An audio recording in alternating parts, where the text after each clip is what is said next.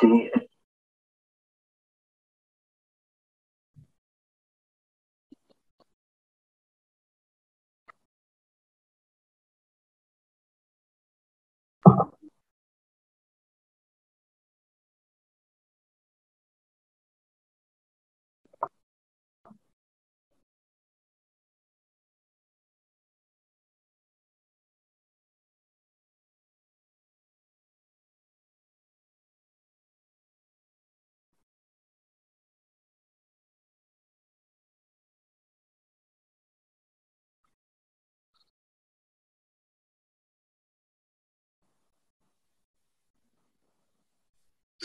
السلام عليكم ورحمة الله وبركاته. آه، بداية أحب أشكر الدكتور أيمن على المحاضرة الماضية والمحاضرة ديت. آه، دكتور أيمن يتميز بأن هو جمع بين الدراسة وبين الشغل العملي. فهو درس في الكلية الفنية العسكرية ودرس ماجستير دراسات معمارية جامعة القاهرة ودكتوراه في الهندسة المعمارية جامعة القاهرة وماجستير إدارة المشاريع في جامعة جرينتش. واشتغل في مشاريع حكومية وقاد مجموعة من الفرق في موضوع البناء المستدام واشتغل فترة طويلة جدا في المشاريع في إدارة التصاميم وإدارة البرامج وتقييم المشاريع والتمويل في العديد من المشاريع واشتغل في شركات استشارية وإلى جانب العميل وقام بإدارة مشاريع مستدامة. فلذلك الخبرة بتاعته كويسة جدا وهو مشكورا وافق إن هو يعطينا محاضرتين تعتبر مقدمة لكورس كامل هو بيديه عن العمارة الخضراء. فكورس إحنا بنرشحه لكم إن أنتوا تتواصلوا مع الدكتور وإن شاء الله تشتركوا في الكورس ويكون مفيد ليكم وهيفرق معاكم جدا إن شاء الله. وجزاكم الله خير. نقدر نبدأ يا دكتور؟ إن شاء الله. السلام عليكم. ماشي. عليكم السلام ورحمة الله. بسم الله الرحمن الرحيم هنبدأ المحاضرة أو الجزء الثاني من محاضره المقدمة. وسريعا عايزين نفتكر اللي إحنا اتكلمنا عليه. إحنا المحاضرة اللي فاتت اتكلمنا عن مفاهيم الاستدامة مفاهيم البناء الأخضر كبدايات حطيناها تحت مسمى جرين موفمنت وشفنا من أول من أول خلق الكرة الأرضية لما سبحان الله سبحانه وتعالى خلقنا الكرة الأرضية والمكونات الرئيسية اللي فيها البيئات المختلفة اللي فيها. والإنسان لما عمر الكرة الأرضية وجوده في في البيئات المختلفة كان له عامل مؤثر يجمعه ثلاث حاجات رئيسية. إنه أول حاجة إنه كان بيدور في الاحتياجات بتاعته حسب حسب هرم مازلو اللي إحنا شفناه في المحاضرة اللي فاتت إن من ضمن الحاجات الرئيسية الأساسية ال physiological اللي هي المأوى. وعرفنا إن علاقة التطور والتقدم للإنسان كانت خدت منحى يبدأ بالتقليد simulation ثم development يطور المسألة ثم مرحلة ال innovation الابتكار والإبداع. وشفنا على مستوى البيئات المختلفة الشلتر ده تحول من إلى في, في الثلاث مراحل دول في البيئات المختلفة.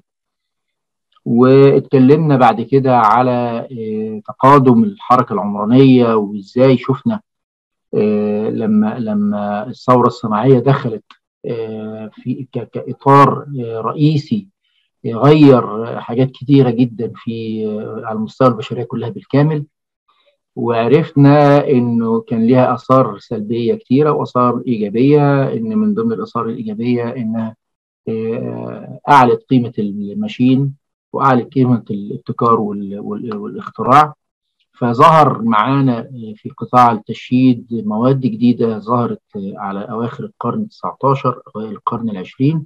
وحددنا أربع حاجات رئيسية هي اللي أثرت جامد جدا على حركة البناء وحركة التشييد على مستوى العالم كله اللي هي الستيل وتحويله من من من مواد أو من صناعات بسيطة خفيفة زي الأواني زي السيوف زي زي إلى إنها يبقى عنصر إنشائي فعال في المنشآت المستحدثة في وقتها اللي هي ما يطلق عليها الكمرات وال I-beams وما شابه ذلك. وثم المادة الثانية كانت مادة الزجاج وازاي إنها كانت فقط كانت أيضا كان مستخدم في الأواني وفي ال في ال في في حاجات الديكور وكده. وبعض وبعض فتحات الشبابيك. ثم تم صناعة اللي هي ال plain sheet أو المسطحات المسطحات المستوية بأحجام أو بمساحات كبيرة. كان له أثر كبير جدا في تغيير شكل الواجهة للمنشأ بصفة عامة. الحاجة الثالثه ظهور المصعد أو أو الكابينة الرأسية أو الكابينة الطائرة كانوا يطلق عليها كده بواسطة واحد اسمه أوتس واختراعه ده هو أدى إلى تواصل ال ال الناس مع الارتفاعات والظاهر ظهرت فكرة إن إحنا يبقى عندنا المبنى أكتر يعدي ثلاث طوابق واربع طوابق وهكذا. وكان أول high-rise building اللي هو شفناه كان في إنجلترا. ثم يتبعه في شيكاغو في الولايات المتحدة الأمريكية المبنى الأول اللي هو مبنى التأمينات في أواخر القرن 19 وكان 10 أدوار. وأوتيس كان له الدور في إنه يقرب الأدوار العليا. لإنها تبقى في الشارع في أقرب وقت ممكن بدل الصعود على السلالم. ثم ظهرت مادة الخرسانة المنتجة من الأسمنت الصناعي ودي غيرت مفهوم البناء يعني كليا وخلت الاعتماد عليها هو ده الأساس وابتدينا نبعد تماما عن الماد المواد اللي بنسميها ايرث ماتيريال لأنها كانت أساسها من من منبع الأرض يعني يعني الطينة والطميه والطفلة والصخر بأنواعه كان بيتبني بيه المنشآت القديمة وفي مناطق الغابات كان بيتبني بالأشجار في المناطق الصحراوية كان بيتبني. بال... أو منشآتها كانت بتبقى خيام وهكذا لما ابتدت تظهر المواد ديت انتشرت على مستوى العالم المصانع بتاعتها واصبحت يذلل لها الصعاب سواء كان في النقل أو في أو في التخزين أو أو وابتدى يتعمل عليها أبحاث كتيرة جدا جدا وابتدت البشرية تبعد كتير عن المواد الأولية اللي كانت بتبني بيها اللي كانت يعني آثارها يعني ما قبل ذلك كان آثارها قوي جدا في بناء الإنسان. بعد كده شفنا بدايات إرهاصات حركة إن في بعض المهتمين بالبيئة إزاي كانوا بيتكلموا. بس كانت بصوت مفرد زي ما بيقولوا يعني أصوات ليست ذات طابع جمعي. إلى أن ظهرت كوارث كتيرة جدا جدا وكان منها مثلا تشيرنوبل وكان منها Three آه Island وكان منها آه وصولا إلى حرب 73 وتأثيرها على ال ال الاقتصاد العالمي كله لما علي سعر الوقود الاحفوري اللي هو البترول وده كان له أثر كبير جدا جدا إنه يزيد من اشتعال أو فكرة أو أزمة الطاقة وأزمة تأثيرها على أزمة الحياة كلها بصفة عامة وليس التشييد فقط. وهنا ابتدت دخلنا بقى في المنظمات الحكومية والمنظمات الدولية إنها يقولوا يا جماعة إحنا لازم نناقش المشاكل دي هي. فابتدت الاجتماعات بتاعت ال United Nation ومجتمعات اليونسكو. تعالوا نشوف حلول للكلام دوت. وابتدت التفاعلات في المؤتمرات من أول سنة 72 مرورا إلى أن وصلنا إلى سنة 2015 لما ظهر الأجندة 2030 ظهرت ال Sustainable Development Goals أو SDG أو أهداف التنمية المستدامة في 2015 وكانت أحد التوصيات الرئيسية إن إحنا عايزين نحط إطار لازاي نحمي الكرة الأرضية من الآثار المدمرة ليها اللي هو أهم حاجة الانبعاثات الكربونية الكربون ايميشن والانبعاثات الغازية كلها بصفة عامة ونحمي ال ال نحمي البنية التحتية بتاعت الكرة الأرضية الخامات الطبيعية الغابات للأجيال القادمة إزاي إن إحنا نحاول نحافظ على أرضنا للأجيال القادمة واتحطت أجندة تبقى هدف لكل الدول إنها تحاول توصل له وتحققه اللي هو 2030 ومن هنا فهمنا إن التوجه الرئيسي ده ده توجه يعني عالمي دولي لم يكن قاصر دولة عن دولة ده هو على كل الدول اللي وقعت على الوثيقة كانت 195 دولة إنها كانت يجب إنها تلتزم بما جاء في هذه المبادرة من هذه الوثيقة. مش بس الحراك الحكومي أو أو المجتمع الدولي كان كمان ابتدت تظهر المنظمات الدولية وابتدى يظهر ما يطلق عليه المعايير الدولية أو معايير المحلية كانت الأول محلية زي اللي زي ال BREEAM زي ال LEED زي ال CASBEE زي زي ال Star. كل دول ابتدى يظهر تفاعلاتها مع المجتمع ما يخص قطاع التشييد بصفة عامة أو صفة خاصة يعني. وظهرت إن هذه أو في معاهد تتبع منظمات دولية بتحاول إنها يعني تنشر هذا الفكر على مستوى العالم فلقينا إن الليد بينتشر في أكثر من من 90 دولة أو حاليا دلوقتي أظن عدد 140 دولة. بنحاول إن إحنا نستكشف إن هذه الدول كلها بتحاول إنها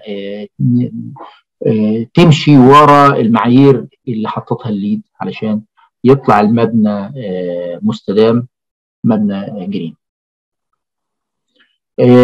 برضه رجعنا تاني لأن الأفراد ابتدى صوتهم يعلى في هذا المجال وابتدى ارهاصات الحركة المعمارية أو الحركة الإنشائية أو التشييد تختلف شوية ولما لما ابتدت المنظومة بقى يظهر لها ملامح زي ما بنقول ابتدى يظهر إن في تصنيفين تصنيف بيهتم بال passive design وتصنيف بيهتم بال active أو passive system design أو passive design system والمقابل له اللي هو active design system وفهمنا إن ال passive وال design هما الاثنين أوقات كتيره جدا بيبقوا مكملين لبعض. معماريين كتيرة جدا أو مكاتب كبيرة بتهتم بإنها يبقى علشان يطلع مبنى مستدام إن هم يشتغلوا يشتغلوا على الاثنين مع بعض. ال passive وال active النهارده هنتكلم عن تكملة المحاضرة. هنبتدي ونقول تعالوا نفهم أكتر ونستوعب أكتر الكورس دهوت أو يعني المحاضرة دهيت إيه العناصر الرئيسية بتاعتها. نبتدي بقى بسم الله الرحمن الرحيم. اللهم علمنا ما ينفعنا وانفعنا بما علمتنا وزدنا علما وارزقنا الإخلاص في القول والفعل. يا رب العالمين. دائما ابدا أحب أبتدي المحاضرة بتاعتي بكوت أو مقولة لأحد الناس المشاهير وده النهارده هنتكلم من بلسان واحد اسمه كاميرون سينكلير ده بيقول آه، when sustainability آه، is viewed as being a matter of survival for your business. I believe you can create massive change. Uh, بيقول إن لما تبقى الاستدامة هي الأساس في عملك هي هي اللي بت بت بتخلي عملك يستمر ويبقى فيه سرفايفل أكيد إن أنت هتحدث uh, تغيير هائل. اذا اذا المفهوم بنحاول نوصله تاني للناس كلها. يا جماعة الخير الاستدامة هي مسألة حياة. فكر يتبعه تطبيق لكل مناحي الحياة. وإحنا كناس بنهتم بمجال التشييد بنحاول نأطر هذا الفكر على اولا على قناعاتنا ثانيا على ما مخرجاتنا للناس والبشرية ثالثا ال ال الأثر الدائم والرسالة اللي أنت بتقدمها للآخرين. يجب أن تكون ليها ليها وضوح يجب أن تكون ليها معنى يقدر يعني يتناقل للأجيال اللي بعد كده يتناقل لكل البشر باختلاف توجهاتهم باختلاف طباع طباعهم. هو ده الأساس اللي إحنا عايزين نعلي بيها لما بنقول هذه المحاضرة أو نتكلم على كورسات للناس أو نحاول ان الناس تستوعب التغيير الدراماتيكي العالي جدا جدا العنيف اللي بيحصل دلوقتي على مستوى العالم.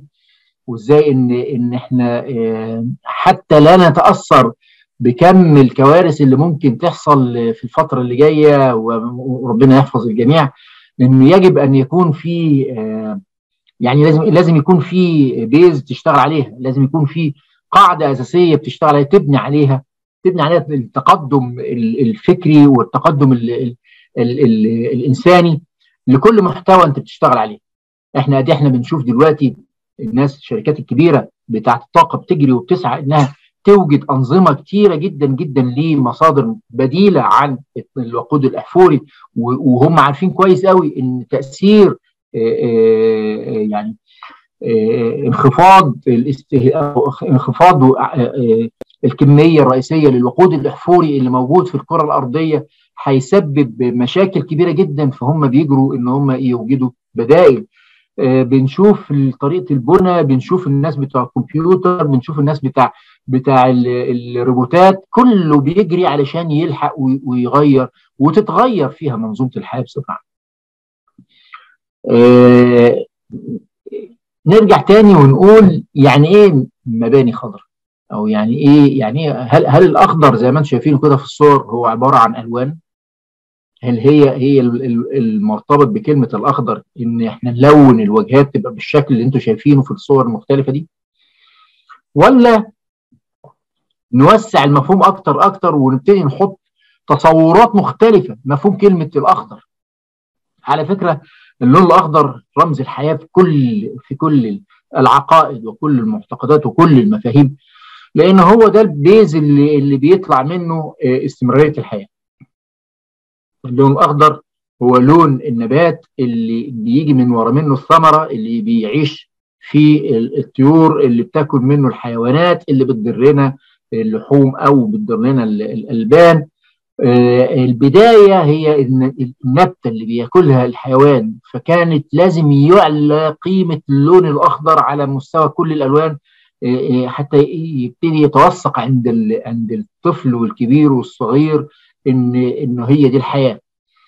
أنت لما بتخلي طفلك يلعب في حديقة وبيتوسخ هدومه فأنت لو كنت دارس وواعي فأنت هتحاول تفهمه إن الوساخة ديت ما هياش ما هياش حاجة سيئة. ده الكلوروفيل عمل بقع البنطلون بتاعك. الكلوروفيل ده أحد مكونات النبات اللي هي كانت موجودة في النجيلة إذا كان هو بيلعب في النجيلة. وما يتبع ذلك من من من تطور فكرة إن إحنا إزاي ناخد بقى اللون الأخضر ده إما حرفيا زي ما هنشوف المباني ال ecological design زي الصورة اللي موجودة فوق على اليمين أو ما يستتبعه من من تطور المنشأ نفسه وتطور حتى ال landscaping وحتى ال urban design وعناصر التصميم كلها بصفة عامة. هل هذه الأفكار الإبداعية هو ده ال green؟ لما نحط تصورات مختلفة للمبنى بتاعنا ونقدر نقول والله أنا إزاي أعمل معالجات للتهوية، إزاي أعمل معالجات للإضاءة، إزاي أعمل معالجات للتلوثات اللي هي زي السمج أو ال أو ال أو الفطر أو إزاي أعمل معالجات لكل ده. هو ده الأساس اللي إحنا نبني عليه ونقول عليه هو ده المبنى الجرين؟ هل في يمكن في يوم ما نبتدي نرجع تاني لمفهوم القديم الحديث عن البنى بالطين والبنى بالمادة الأرض؟ برضو أنا يعني أوقات بنسى وأقول كلمة البنى بالطين. هي أبعد بكتير جدا من كلمة الطين لأن الطين دوت يعني واحدة من من من أنواع كتيرة جدا للتربة.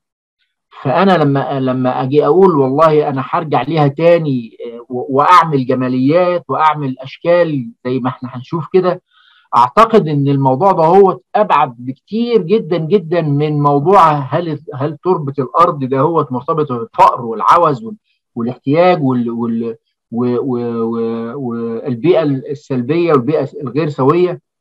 يعني هل هل انت متخيل هل انت متخيل الصور اللي قصادك كلها بنى بماده تربة الأرض و و و ويبدع فيها المصمم حتى تجد هذه الأشكال العجيبة إيه لو عايزين على فكرة إن إحنا نبقى في مرة نتفق إن نعمل لكم محاضره على البنى بماده الأرض بمناسبة الكتاب يعني وبمناسبة ال ال ال الكلام عن ال green building بصفة عامة.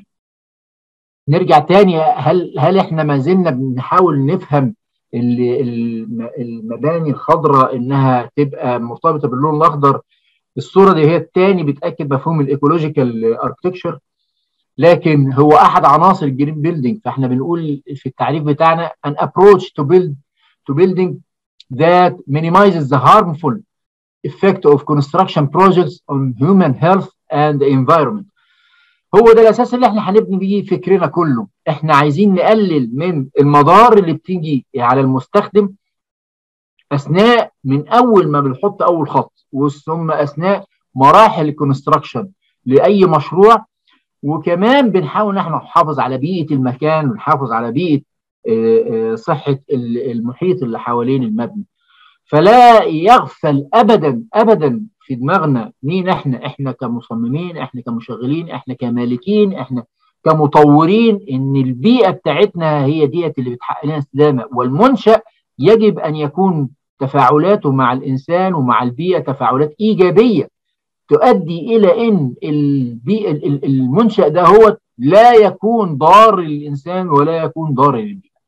ده green architect اللي هو المعماري بقى اللي هيشتغل المفهوم دهوت or designer attempt to uh, safeguard air, water and earth by choosing eco-friendly building materials and construction practices. الراجل اللي هيشتغل بهذا المفهوم لازم يكون عنده تخيل وسعة أفق عالية جدا جدا. إزاي يحقق العنصرين الرئيسيين؟ إن هو يحافظ على صحة الإنسان المستخدم وغير المستخدم اللي هو بيمر حتى جنب المبنى. وصحة وجمال ونظافة البيئة واستمراريتها وديمومتها إنها تبقى بتدي قيمة قوية جدا جدا للمبنى والمنشأ.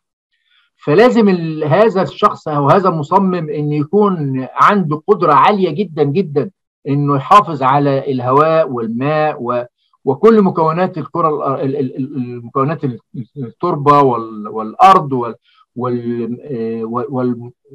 والمحيط بتاع المبنى وعناصر المبنى كلها.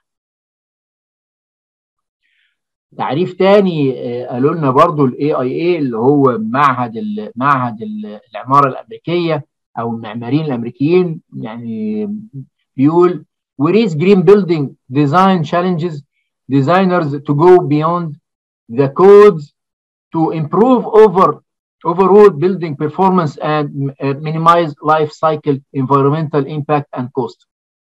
ده برضو أحد التصورات إن لو أنت هتشتغل وهتبتدي تعلي قيمة المنتج أنت عندك أساس رئيسي أساسين رئيسيين لازم تشتغل عليهم. إنك تؤكد على كفاءة المبنى وكمان تقلل من التأثيرات الضارة اللي بتيجي على البيئة وال life cycle environmental وبرضه التكلفة فده ده كله مفاهيم هنفهمها لما نتكلم على ال advanced اللي إحنا بنشوفه أو اللي إحنا هنتعلمه من المباني الخضراء. طيب عايزين تاني نرجع تاني نفهم يعني إيه green architecture. يبقى لازم نتكلم شوية عن ال advantage وبعد كده نتكلم عن إيه. ال advantages اللي إحنا هنشوفها أو اللي إحنا هنحاول إن إحنا نستوعبها في هذا الكورس؟ أول حاجة إن perform passive design system الأداء بتاع التصميم لأنظمة الأنظمة السلبية لازم تبقى تعلى معايا لازم تعلى. بطريقة إحنا كده إحنا أنا آسف أنا بتكلم كده على ال elements العناصر الرئيسية للمباني الخضراء. إحنا اتكلمنا عن ال slide دهوت امبارح لكن بس أنا بحطه علشان نبتدي نمسك واحدة واحدة ونتكلم كده بسيط برضو عنها. آه إن شاء الله في الكورس هيبقى توسع أكتر. لكل عنصر من دول هيبقى ليها محاضرة أو محاضرتين. فأنا فاهم كويس قوي إن إحنا مش هنقدر آه نتوسع في هذه المحاضرة في الشرح يعني لكن بنقول إن ال element الرئيسية بتاعت أي green building هي perform passive design system ecological element surrounding building green building material enhance building indoor environmental quality increasing water efficiency achieving natural lighting renewable energy elements waste management and 3 R recycle reduce reuse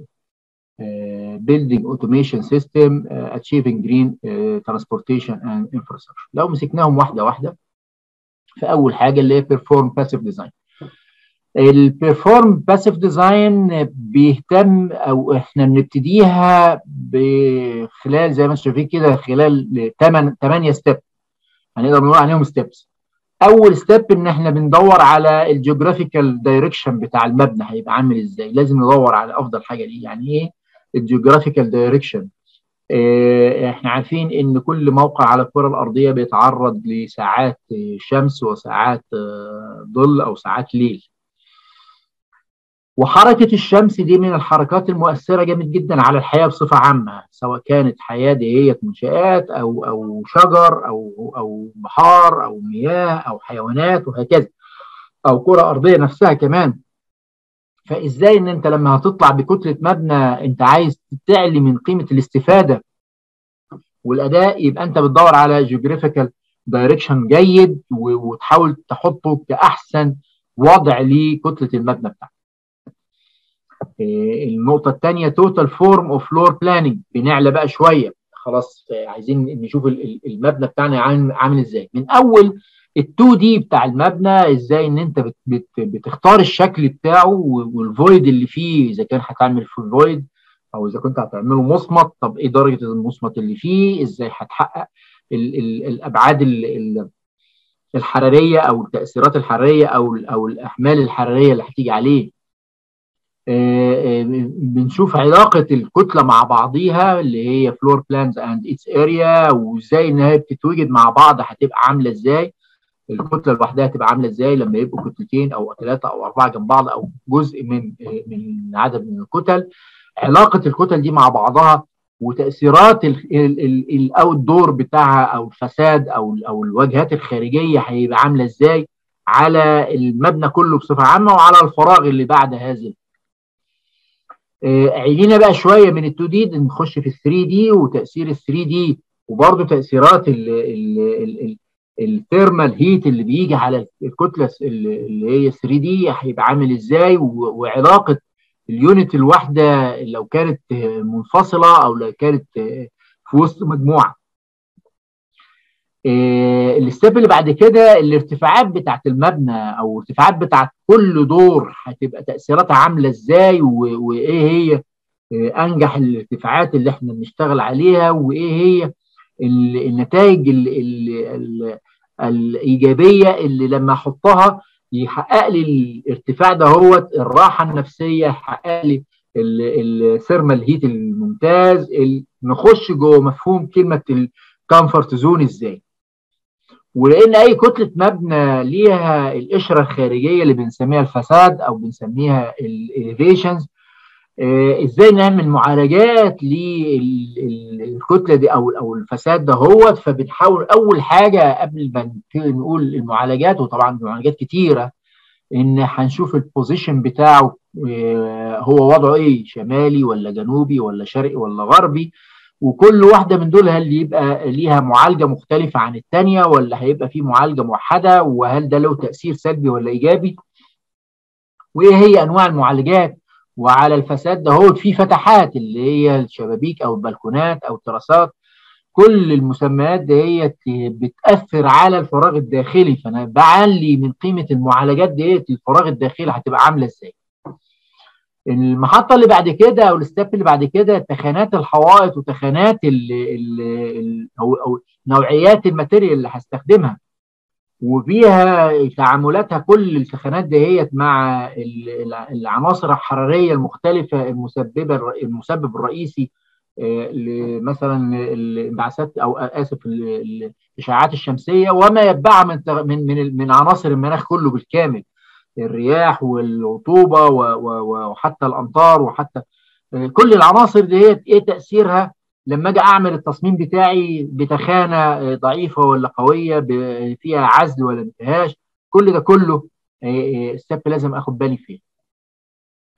بعد كده يخش معايا passive solar systems لو أنا هبتدي أتعامل مع تطور الفكر الموضوع ال passive design إنه في على مر العصور ظهرت بعض المعالجات اللي ابتدت يحصل منها. ثبات لدرجة الحرارة مقاربة لدرجة حرارة الإنسان ولا تتأثر بدرجة حراره الخارج. يعني لما بنشوف بعض المناطق لما تكون المناطق دي درجة حرارة تحت الصفر أو ما هو أقرب إزاي إن أنا أقدر أخلي البيئة الداخلية لا تتأثر بالبيئة الخارجية كتير أو العكس لو كان درجة حرارة أكتر من 45 أو كده هو وإزاي إن أنا بقدر أعمل معالجات ليها أنا بقى كتلة المبنى ده هو لازم أفهم السراوندنج اللي حوالين منه حوالين منه. هل هو في منطقة صحراوية ولا في منطقة ساحلية ولا على على مجرى مائي جنب منه ولا هو جوه نسيج مدينة لا ير... لا يمت للاثنين دول بصلة في منطقة يعني حضريه وبالتالي هل العناصر اللي حوالين منه بتؤثر عليه ولا لا؟ وإحنا بنتكلم إن العناصر كتيرة جدا من أول أنواع الشجر وأنواع النباتات بصفة عامة بلاش كلمة الشجر عشان تبقى العملية أعم وأشمل نقول أنواع النباتات من أول النجيلة وصولا للشجيرات ثم الشجر بأنواعه بالارتفاعات المختلفة بتاعته. هل له تأثير على كتلة المبنى ولا لأ؟ وهل الظل اللي بيجي منها هل ده له تأثير؟ والنجيلة دي هي إيه إيه إيه إيه, إيه الفايدة الكبيرة اللي فيها؟ وهل لو أنا حطيت بدل النجيلة أسفلت أو حطيت انترلوك الأرصفة هل ده هو له تأثير ضار ولا لأ؟ إيه العلاقات ما بين العناصر ديت وكتلة المبنى؟ هل لو أنا عملت مصدر مائي داخل أو خارج المبنى هيبقى برضه له تأثير على الراحة الحرارية؟ إحنا كل ده دايما وابدا عايزين نعلى بقيمتين رئيسيتين تاني. نعلى قيمة المبنى نفسه إنه يحافظ على نفسه أطول فترة ممكنة ويعمل healing لنفسه لأنه ما بيفيش ما بيتأثرش بالمضار اللي حوالين منه تاني حاجة وهو الأهم برضه إن أنا أعلي من قيمة صحة الإنسان وصحة المستخدم والصحة مش بس الصحة البدنية أو كمان أنا بتكلم ال physiological لكن أنا بتكلم كمان على ال psychological الصحة النفسية للإنسان. في حتة إن ان يعلى عندي قيمة الصحة النفسية دي مهمة جدا جدا. يعني أحد الدراسات القوية اللي طالعة من أعتقد من هولندا بيتكلموا على إن وجود الأشجار جنب المباني ده بيبقى يست... يعني يستدعي وجود أنواع كثيره جدا من الطيور. اللي بيها هذه الطيور في ساعات الصبح الأولانية إلى إلى ان يعني من أول ساعات الصبح الأولانية إلى أن يغيب الشمس وتبتدي تخلد للنوم والراحة فهي في يعني صوت موسيقي جميل جدا. الله سبحانه وتعالى حبى كل طائر من الطيور بنغمات معينة بأصوات معينة مختلفة. هذه الأصوات تأثيرها إيجابي عالي جدا جدا جدا على كل مستمع على كل قريب لهذه الكائنات اللطيفة الجميلة المخلوقات الجميلة اللي ربنا سبحانه وتعالى حط فيها الإبداع الصوتي ده هو. فتخيل تخيل إن أنت من الحاجات اللي بتدخلك جوه ال comfort zone ال sound sound system لما أنا أحط جنب مني صوت خرير مية ده تأثيره عامل إيه عليا؟ طبعا أنا بتكلم على إن أحد التصميمات القوية جدا جدا لأحد الشركات الكبيرة دون يعني مش عشان ما نعملش لها دعاية. عملت التصميمات الداخلية ليها إزاي إنها تعمل simulation لجو بحر مثلا فيدي لك صوت الدوشة بتاعت الموج ويدي لك ريحة اليود اللي بتاعت البحر ال odor ويدي لك مناظر بتتعرض قصادك على الحيطان أو على الإزاز علشان يعيشك جوه إن أنت قاعد على ال beach فانت قاعد بقى وانت مستمتع بالمنظر ومستمتع بالريحة ومستمتع بالصوت ابتدي ابدع ابتدي طلع لي إيه الإنتاجية بتاعتك تزيد إزاي؟ آه دي هي ديت من من أهم مبادئ وأهم مفاهيم ال green building. مش إحنا كنا بنتكلم وبنقول إن إحنا عايزين نعلي قيمة الإنتاجية بتاعه ال بتاعه ال المستخدمين. طيب ما دي عناصر رئيسية جدا كبيرة جدا جدا تعلى بها الإنتاجية. ال ال المفهوم اللي بعد كده ال material نفسها. إحنا بنتكلم على إن معظم استخداماتنا لل material دلوقتي هي استخدامات بتبقى آه ليها آه ليها علاقة بالمواد الكيماوية. لأن معظم ال material بقت بتطلع من البوليمرات و و و والتطور في صناعة الوقود وال والصناعات البلاستيكية والبوليمرات أدت إلى بومين كبير جدا من التنوع العالي في المواد على مستوى التشطيبات على مستوى البناء على مستوى الهياكل الخرسانية وهكذا والمعالجات وخلافه.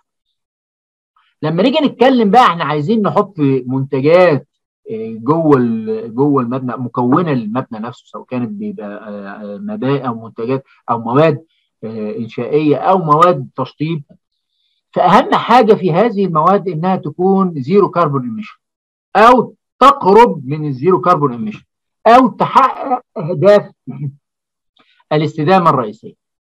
فلقينا إن إحنا بنرجع تاني لل earth material بنرجع تاني للطفلة والرملة والطينة ونخليها هي دي العنصر الرئيسي للبنى.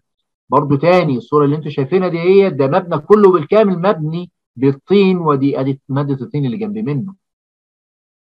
أول حجر زي اللي في الصورة اللي بعد منها. وابتدينا لما نفهم مفهوم كلمة النانو تكنولوجي وإحنا دلوقتي في عصر اللي هو ال nano applications فلقينا إن حاجات كتيرة مواصفات كتيرة لمواد اتغيرت وابتدت يبقى ليها دلالات كبيرة جدا جدا على التصنيع. آخر حاجة دلوقتي بنتكلم على الخشب الشفاف مثلا. بنتكلم على المواد التشطيبات اللي هي لا تتأثر بأي نوع من الأتربة أو أو الوسخات أو أو الزيوت أو أو أو. فدي لا تحتاج إلى نظافة.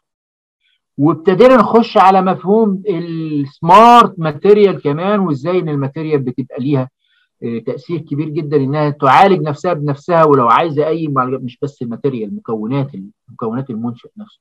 يعني دلوقتي بقينا نلاقي إن في بعض المكونات أو العناصر اللي بتبني بيها الكباري في اليابان بتبقى ليها القدرة إنها تعالج نفسها بنفسها. اذا ده ده كله ارتباط بال technology بقى بصفة عامة. فإحنا بنسميها الأصل nano material لكن هي كلها ليها ارتباط بال technology إنها قدرت إنها تغير مواصفات والمكونات الرئيسية للمادة. برضه زاد ال technology معانا كتير قوي فلقينا مش عايزين نعمل علم أو إدارة المخلفات ال waste management دوت. دخلنا في في في منعطفات كبيرة جدا جدا جدا اللي بيها. ابتدينا ناخد بالنا إن حتى كمان المخلفات اللي هتطلع من بعض النباتات تصلح إنها تتحول إلى مادة ثانية فابتدينا نستخدم هذا الفكر في إنه نطوره ونعمل منه مواد بناء مواد تشطيبات. فاتسمت بال bio-based material ده كله أساسه إيه؟ أساسه النباتات وأساسه الشعب المرجانية وأساسه مكونات البحار النباتات اللي في البحار. حاجات كتيرة جدا جدا ابتدينا ناخد منها ونعدلها ونعمل عليها مختبراتنا. علشان يطلع منها biomass material bio-based material برضو تاني رجعنا لل waste management وازاي إن إحنا نقدر نعلي من قيمة أي أي مادة خرجت خرجت في ال waste إنها نرجع نستخدمها أو نعيد توزيعها تاني أو نعيد أو نقللها. إزاي؟ ال triple R طبعا في في quarter R لكن خلينا نشتغل دلوقتي على ال triple اللي هو ال reuse reduce recycle فأنا أقدر استعملهم وأطلع منها الصورة اللي أنتم شايفينها في على الأقصى اليمين اسفل السهم بيشاور عليها ديت. دي بلوكة. اتعملت بإيه؟ اتعملت بمخلفات أوراق. من الورق بلوكة معمولة من الورق وهكذا. اذا إحنا بنقدر نتعامل مع هذه المواد باشكال وصور تانية مختلفة. هو ده. القوة بتاعت الموضوع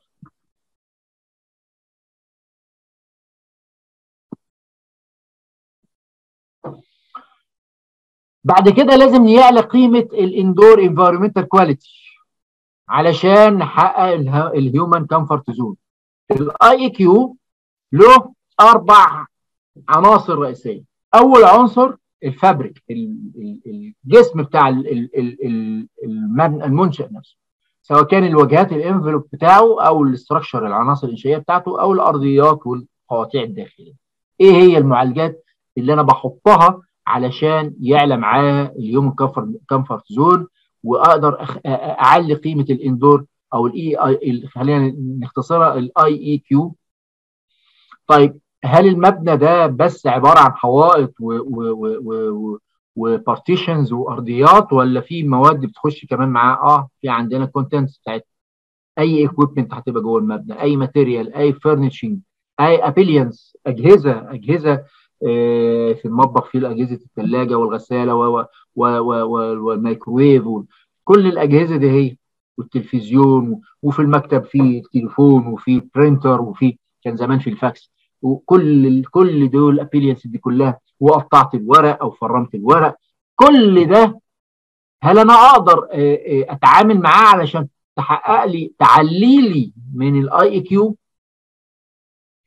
طب كمان الموضوع بتاع ال operation بتاع ال building خد بالك الاستدامة لا تقف عند حد التصميم ولا حد التنفيذ ولا حد التشغيل. ولكن ما بعد التشغيل كمان كل ده هو ال green building فأنا عندي في ال operation إيه اللي بيشتغل في المبنى؟ ال ventilation وال performance بتاعها والبرفورمانس ستاندر الفنتيليشن سيستمز الهاوس كيبنج والكليننج والاكويبمنت مينتنانس حتى الوسائل اللي أنا بعمل بيها الصيانة. هل المبنى فيه أنظمة معقدة ميكانيكية معقدة زي غلايات أو محطات توليد أو أو storage لبطاريات أو أو خزانات مية محتاجة تسخين محتاجة إنها تتحط في مكان معين. هل أنظمة التهوية الثقيله سواء كانت السنترال المركزية أو أو ال split أو أو chillers أو كده. كل ديت بنسميها عناصر تشغيل operation هل هل ده الحاجات دي كلها بتأثر على ال IQ طبعا بتأثر بتأثر بطريقة مباشرة جدا جدا جدا. حتى ال housekeeping وال cleaning كمان في عندنا إشكالية كبيرة جدا جدا. ان ان إن ال housekeeping موضوع التشغيل ده مش المفروض إن ال dust ده هو يبقى منتشر في الجو ويفضل عالق في الجو أطول فترة ممكنة. إزاي إن أنا أخلي اولا قبل ما أبتدي وأقول أنا يعني هعالج موضوع ال dust ده إن أنا إزاي ما أخليش المبنى نفسه يحتوي على dust مش بس دست توكسيك توكسيك سماجز إيه تاني؟ إيه إيه المواد الضارة تاني؟ إحنا بنحاول يعني يعني القرارات بتاعت ال nations لما تقول والله الناس المدخنين ما يتواجدوش في المكان الفلاني ويتواجدوا في المكان الفلاني أو يكونوا في ال outdoor ما يكونوش في ال indoor خالص في بعض الأماكن. ومش بس الأماكن كمان وسائل المواصلات وهو الكلام ده كله. ما ليه؟ لأن للأسف الشديد المدخن ده هو بيطلع إيه؟ ال exhaust بتاعه عبارة عن إيه؟ مواد toxic مواد سمية كلها طيب أنا هسيب المبنى في ال operation بس واعالجه واجي وأجي على ال maintenance كمان ما أجيش جنبه لا ده كمان ال maintenance مهم جدا ال maintenance اللي أنا بعمله في المبنى أنا بتكلم على ال cleaning بتكلم على ال servicing rectification ال repairing كل ده هو إزاي إن هو يعلي معايا لأن خد بالك إحنا لما بنتكلم على ال maintenance إحنا بنتكلم على برضه راحة الإنسان سواء كان ال noising سواء كانت المكنه لما بتعمل لها صيانة وهي بتاعت chillers ات تهوية بتاع طب الناس اللي فوق دي إيه درجه حراره 47 50 هنعملوا إيه؟ وهكذا. ال water efficiency مفهوم المية أوسع بكتير جدا زي ما قلت امبارح عن مفهوم إن أنا أشرب مية وبس. أو إن أنا أستخدم مية في في الطبيخ أو أو في الأكل أو كده. لازم يعلى معايا كمان إن في حاجة اسمها ال grey water في حاجة اسمها black water في حاجة اسمها ال harvesting water لو مسكناهم واحدة واحدة ال grey water اللي هي إيه؟ اللي هي زي ما أنتم شايفين في الصورة اللي تحت ديت اللي هي على الشمال. كل المية اللي خارجة من الشاور اللي خارجة من الأحواض اللي خارجة من غسيل الغسالة ده كله اسمه grey water هل أقدر اعمل ليها معالجة بسيطة واقدر استخدمها بعد كده؟ آه ممكن تتعمل لها معالجات ومعالجات بسيطة على مستوى البيت الصغير ومستوى البيت الكبير. أقدر أعمل المعالجة ديت بحيث إنها تكلفتها تقل؟ آه دلوقتي بقت في تقنيات كتيرة جدا بتقلل من تكلفة المعالجة بتاعت ال grey water. لكن أنا بقى كحاجة نفسية هل عندي استعداد إن أنا أتقبل إن أنا أشرب المية بتاعتها لأن ثبت ان في بعض التقنيات بتوصل إن نقاوه الميه اللي بتطلع من الجري ووتر بتبقى أنقى بكتير جدا جدا من الميه المعدنية حتى. تخيل؟ لكن أنا عندي قناعة إن أشربها عندي قناعة إن أنا أحطها في الطبيخ بتاعي ولا هكتفي بإنها تشتغل معايا في الزراعة تشتغل معايا في الشيلرات تبريد الأجهزة والمكن تشتغل معايا حتى إن احطها ك flushing لل toilets طبعا ال black water هي كل ما يطلع بقى ليها ليها معاها مواد صلبة حمقى وهكذا. يعني ال toilets بنستخدم كده. بعض أنواع الأحواض المطابخ لأن بيطلع معاها مواد صلبة. فأي ما أي سائل معاه مواد صلبة ده black water هيحتاج إن هو المعالجة بتاعته تبقى تقيلة شوية مكلفة شوية ومش بسهولة إنها تتعمل على مستوى بيت. لكن ممكن تتعمل على مستوى compound تتعمل على مستوى كبير. ال harvesting لل water للأسف الشديد يعني إحنا آه إحنا ما إحناش دولة أوروبية المطر بتنزل علينا كل يوم. لكن للأسف بقينا دلوقتي دخلنا في عصر إن المطره لما بتشد قوي بن بنعاني منها إحنا كمجتمعات بنعاني منها إزاي ان إحنا نقدر نشوف. فانا لما عشان اعلي بقى للأربع حاجات ديت إزاي ان أنا اعلي الكفاءة بتاعتهم فانا لازم أشوف ال improving water use efficiency الاستخدام بتاعنا كفاءة الاستخدام بتاعنا use alternative sources of water لازم يكون في بدائل لوجود المية. يعني يعني إحنا دلوقتي الاعلام دايما بيوجهنا لأن في أزمة للمية. في أزمة هتحصل قدام. في أزمة مشكلة المية المية عليها أزمة. وابتدت الدولة تاخد مناحي كبيرة جدا جدا إنها المعالجات اللي بتعملها وابتدى دلوقتي في تعاقدات كمان على تحلية مياه البحر وابتدت يبقى في تصور كبير جدا إن إحنا داخلين على منعطفات ما كناش متعودين عليها من مئات السنين طيب هنعمل إيه؟ لازم ندور على مصادر ثانية للميه. prevent and repair leaks مش عايزين نخلي نخلي موضوع ال leaks ده هو يأثر على الميزانيات بتاعتنا ويأثر على المنشأ نفسه كمان. أي تسريب للمية للميه في أي ماسورة هو بيتقلل من عمر الماسورة. طيب ما ده كله في ال maintenance زي ما كنا بنتكلم. ولما بنكون بنشوف إن هي ليها تأثيرات ضارة بتبقى ليها تأثيرات ضارة وممكن تتاثر بال IQ كمان اللي إحنا كنا لسه بنتكلم عليه من شوية. الاريجيشن الري بتاع الاريجيشن ونعمل لها جدول عامل إزاي وإزاي إن هو يبقى مش مؤثر بالسلب على المبنى. understanding لأن خد بالك إحنا بنتكلم على ال ecological building كمان. آه طب فيها اريجيشن آه إيه ال system اللي هيشتغل في الاريجيشن في على على على طول الوجه كله. understanding soil structure and manage moisture conditions. التربة اللي حوالين المبنى لازم تكون تربة لها لها معالجة معينة. ولازم يكون تأثير التاثير بتاعها ما يبقاش تأثير ضار ولازم يبقى يبقى لأن لأن التربة لو ما كانتش مختارة بطريقة جيدة هيبقى حاجة من اثنين إما هيتولد فيها نوعيات معينة من الحيوانات زي الحشرات أو كده هو وبالتالي هيبقى لها تأثير سلبي كبير جدا على المبنى. أو إنها بتبقى بتحتفظ بكمية من الرطوبة العالية جدا جدا اللي لما بتيجي الضخام بتضخها على المبنى بتبقى لها تاثير بسيط minimize land degradation إزاي إن إحنا يعني لما بنيجي ننشئ المبنى ما نكونش سبب من أسباب تدهور التربة والأرض اللي حوالينا. manage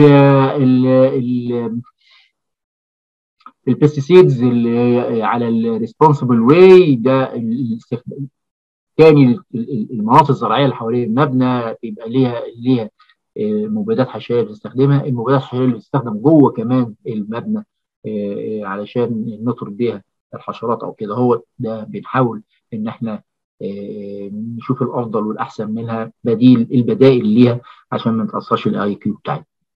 avoid water pollution يعني التلوث المائي ده هو للأسف الشديد بنغفل فيه عنه كتير جدا جدا خاصة لما يكون في عندنا البيوت اللي فيها خزانات المية. الخزانات مع الوقت إذا كانت مصنوعه من الصاج أو مصنوعه من المواد يعني ما بتعالجش الفطريات أو ما بتعالجش فبيبقى بعد كده وركنة المية جوه الخزانات بيبقى لها تأثيرات ضارة كبيره جدا إحنا بعد كده بنضطر بنستخدم المية ديت وهي مية ملوثة. Use alternative washing and cleaning processes طبعا لأن البروسيس بتاعت الغسيل والنظافة سواء كانت غسيل السيارات أو غسيل الماء المبنى نفسه أو غسيل كل ده استهلاك الميه أو حتى المغاسل العادية أصبح دلوقتي في مغاسل بتتعامل مع الحجم الصغير بتاخد كمية كبيرة من الغسيل وبتاخد كمية قليلة من المية. كل التكنولوجيات الحديثة دلوقتي إنها تقلل من استهلاك المية في المغاسل. يبقى ده هو من الحاجات الأساسية. Establish a water management plan. وده مهم جدا جدا لما نيجي نتكلم على مشروع سواء كان بيت صغير أو كومباوند أو حتى مدينة إحنا لازم يتعمل water management plan ال natural lighting برضو له له مناحي كتيرة. هنتكلم عليهم سريعا. daylighting optimizing building footprint لازم زي ما اتكلمنا في الأول على ال passive design لازم نفهم كويس قوي إن حركة الشمس دهيت من العوامل المؤثره كبيرة جدا. مع ال openings ومع ال facade مع مع ال envelope بتاع المبنى إزاي الكلام ده كله له تأثير إيجابي ولا سلبي. لما نيجي نحط الشبابيك بتاعتنا نسبة الفتحات بتاعتنا بالنسبة للحوائط علشان نشوف كمية الإضاءة اللي هتخش عندي عاملة إزاي. ال performance بتاع ال glaze نفسه في single glaze في double glaze triple glaze الطبقات بتاعت ال glaze دي هي تأثيراتها على ال على ال natural lighting هتبقى عاملة إزاي؟ لأن أنا كتير جدا بحب إن أنا أحمي المبنى أو أحمي الفراغ الداخلي من الحرارة اللي جاية لي. أروح عامل double glaze triple glaze وأروح حاطط مادة فوم أو مادة عازلة أو جيلاتينية whatever فده له تأثير سلبي على ال natural lighting ال overhead lighting types طبعا إحنا بنفهمها كويس قوي يمكن كتير قوي من استخدامات الاسقف في المصانع بتبقى عاملين حسابات ليها كتير. لكن حتى في البيوت حتى في المكاتب في المكتبات العامة حتى في المتاحف حتى حتى في المستشفيات ال atrium وال patio والحاجات اللي هي ليها إضاءة داخلية إزاي إن إحنا نعلى فيها ونشوف هنبقى معالجاتها عاملة إزاي. ال sky lighting اللي بيتحط في نهاية السقف من فوق وعلاقته بالفراغ اللي تحت منه والفراغات اللي تحت منه ويديله إضاءة طبيعية عاملة إزاي بأشكالها المختلفة. من المخترعات الحديثة فكرة ال tubular daylight devices وإزاي إنها بتوصل ال natural lighting إلى مستويات حتى مستويات تحت الأرض. وشفنا وهنشوف من ضمن الكلام يعني لما نخش في ال course إن شاء الله المباني اللي, ظهر فيها إبداع المعماري انه يوصل الدور الإضاءة النهارية إلى الأدوار البدروم. ال solar shading devices العناصر بتاعه ال shading هي عناصر مؤثرة يعني يعني عكسية يعني علاقة عكسية مع الإضاءة الطبيعية لكن إزاي بنعملها بحيث إنها ما تبقاش عكسية قوي لازم نبقى فاهمين كويس إيه هي البدايل وايه هي التطبيقات اللي ممكن تكون مفيدة في هذا الموضوع. ال daylighting optimizing interior design التصميمات أو الفراغات الداخلية بنهتم كتير جدا جدا علاقة ال daylighting بتاع بتاعت يعني بتاعت المبنى من لما تخش من داخل علاقته بالاستخدام بتاعه.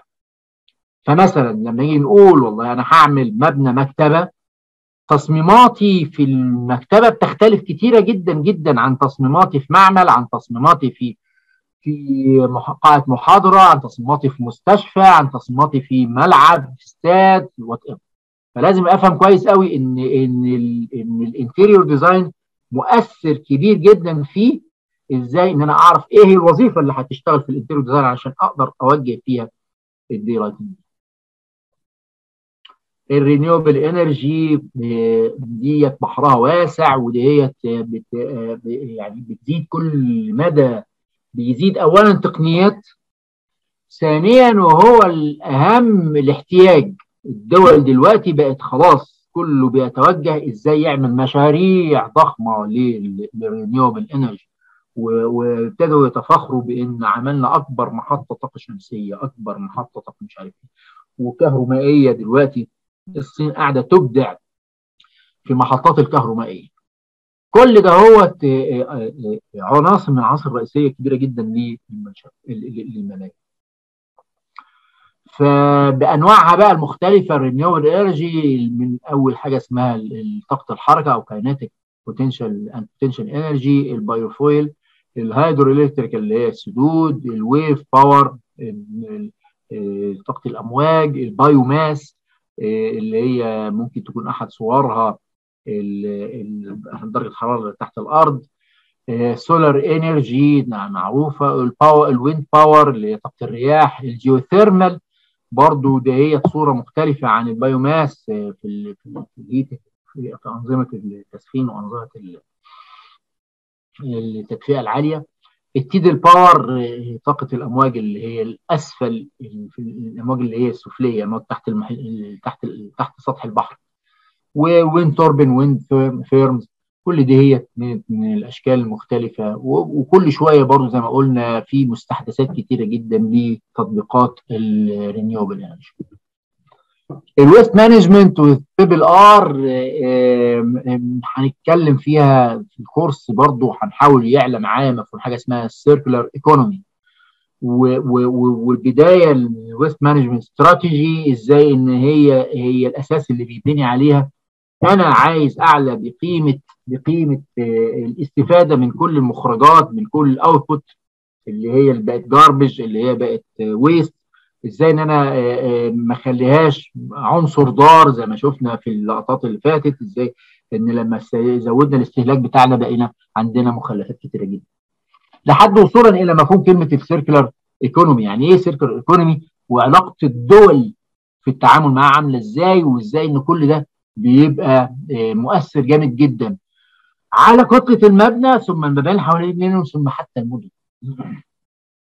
ال building automation system أو ال أو ال بيطلق عليه برضه BMS كل ده يعني عناصره كتيرة جدا جدا اللي منها ال light system أو لايتنج سيستم السولار راديشن بروتكشن سيستم السان بلايندز الاير كونديشننج سيستم الهيتنج سيستم السيناتري فاسيلتيز الليفت فاسيلتيز التليكوميونيكيشن سيستم السيفتي سيستم وكم أكم من الحاجات الثانية ودخلت معانا ال IOT اللي هو internet of things انترنت الأشياء. ودخلت معانا ال ال ال التصورات التعزيزية ال visionary intelligent أو أو الذكاء التعزيزي بيسموه ال vision intelligent ده أحدث حاجة بقى اللي هي أنت ممكن حتى كمان تستوعب الريحة ال smelling بتاعة العطر الفلاني وانت بعيد عنه مسافات وابتدينا ناخد بالنا إن التكنولوجيا دلوقتي زادت فيها المفاهيم دي هي بطريقة أثرت كتيرة جدا على ال comfort zone بتاعة الفراغ الداخلي. وآخر حاجة في العناصر بتاعة ال green building اللي هي بنتكلم عليها وبنعليها لأن زي ما قلنا أنت 90% من وقتك قاعد جوه مبنى فعلشان أنت بتخرج من بيتك تروح لمكتبك أو بتروح لجامعتك أو بتروح للنادي أو بتروح تراخي من مبنى لمبنى. فالعلاقة دي هي لازم ما يتفقدش فيها اللي أنت كنت قاعد بتبنيه في المبنى اللي الأولاني وبعدين هتفقده لو خرجت بره يبقى أنت هتبنيه في المبنى. فهنا يعلى معانا استخدامنا لل transportation الجيد الصديق للبيئة مش ال transportation. وابتدت دلوقتي يتعمل لها infrastructure أنا بتكلم على إيه؟ بتكلم على العربيات اللي هي الكهربية العربيات اللي كمان بتشتغل بالطاقة الشمسية ابتدينا نتكلم نشوف دلوقتي مركبات بتشتغل بالطاقة الشمسية وأحد التجارب الناجحة للطلبة في هولندا إنهم عملوا مركبة بالكامل بتمشي بالطاقة الشمسية. إزاي إن إحنا نعلي بقى الوسائل الأخرى؟ زي ال biking والتمشية وده الأساس ال base اللي بيبني عليه دلوقتي مفهوم حاجة اسمها ال humanization أو انسانه الأماكن. humanization places إزاي إن أنا اعلى بالمناطق اللي يمشي فيها الناس اللي يمشي فيها يركبوا فيها العجل أقصاها يركبوا العجل. إزاي يعلى المواصلات اللي هي ما لهاش sound وليها مسارات محددة؟ نرجع تاني لل train اللي كان بيشتغل بالكهرباء أو الترام واي اللي كان بيشتغل بالكهرباء. وفكرة ال monorail دي من الأفكار القوية جدا جدا اللي إحنا بنعملها دلوقتي في في في القاهرة الكبرى. إزاي إن هي من الحاجات المؤثرة على البيئة. يبقى إحنا كده يعني حاولنا نعرج سريعا على العناصر الرئيسية بتاعت الكورس لكن هنشوف هل هل الكورس دوت مهم. أنا أنا طبعا إحنا محاضرتنا النهارده هي المقدمة للكورس اللي اللي هيحتاج إن هو يعني يسجل الكورس دهوت إن شاء الله بعد المحاضرة ممكن عن طريق البيم أرابيا إن إحنا ننظم الموضوع ده إن شاء الله. ونشوف ونشوف الأعداد اللي هي تحب تخش منها. لكن إحنا علشان نفهم كويس الكورس دهوت يبقى إحنا عايزين نفهم يعني إيه sustainable architecture بعناصره واللي هي ال concept بتاع ال green building ده بيمشي إزاي.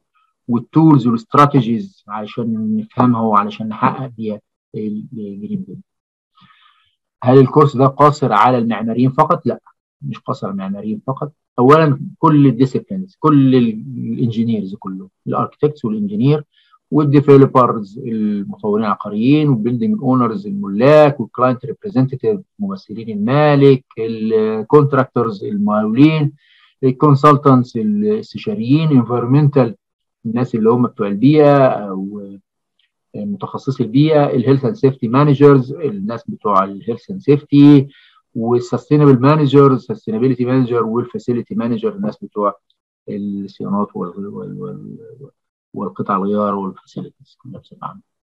اذا القماشه كبيره يعني الفايدة شاملة ما كل كل ما هو له علاقة من قريب أو بعيد بالمنشا وده الجدول اللي بإذن الله هنشتغل عليه في الكورس بإذن الله الكورس هيبقى عدد ساعات 21 ساعة هيقسم على يعني في اليوم هيبقى هنتفق بقى ساعتها هتعملوها ثلاث ساعات في اليوم ولا هنعملها إزاي؟ فده ممكن تبقى سبع أيام في ثلاث ساعات وممكن تكون ساعتين في 10 أيام. يعني الموضوع flexible في إيدينا إن إحنا نقدر نخليها بالطريقة اللي تريح ال group اللي عايز يشتغل عليه. ده باختصار شديد. لل course ات أو المحاضرة دهيت أرجو إن إحنا نكون استوعبنا وفهمنا العناصر الرئيسية اللي هنشتغل عليها سواء كان في ال course أو في حياتنا حتى بعد كده اللي حابب إن هو يتعمق ويتوسع. إن شاء الله هبعت لكم رابط جوجل درايف بإذن الله في مجموعة من الكتب كطلب الإخوة الحضرات اللي كانوا بيسألوني امبارح. إن شاء الله هتلاقوه برده على الصفحة بتاعت بيم أرابيا. وإن شاء الله هيبعت لكم برضو المحاضرة يعني PDF بإذن الله اللي إحنا اتكلمنا فيها. وشكرا للجميع وأي أسئلة. جزاكم الله كل خير يا دكتور ونستنى حضرتك في نستقبل الأسئلة إن شاء الله. لو في حد عنده أي سؤال.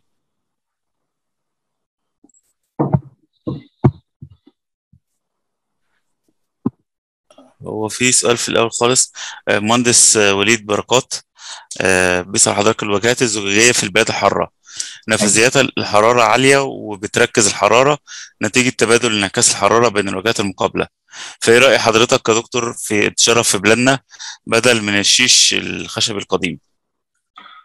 طبعا بشكر الباشمهندس وليد على على هذا السؤال لأنه ده يعني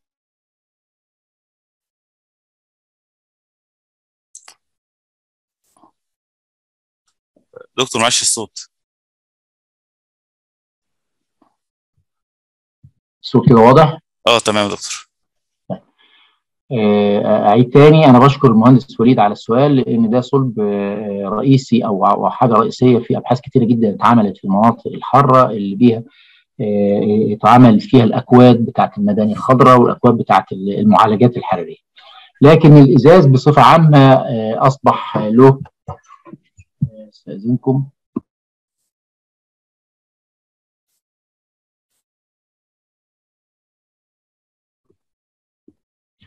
الإزاز بقت له معالجات كتيرة دلوقتي وزي ما اتكلمنا من شوية قلنا إن في حاجة اسمها ال single glaze وال double glaze وال triple glaze آه هذه المعالجات بقت آه من ال من ال من التقنيات إنها تقدر تقلل من ال thermal impact اللي هي آه أو أو ال thermal load اللي بيخش لي من الإشعاعات الشمسية على الفراغات الداخلية وبقت ليها معالجات كتيرة.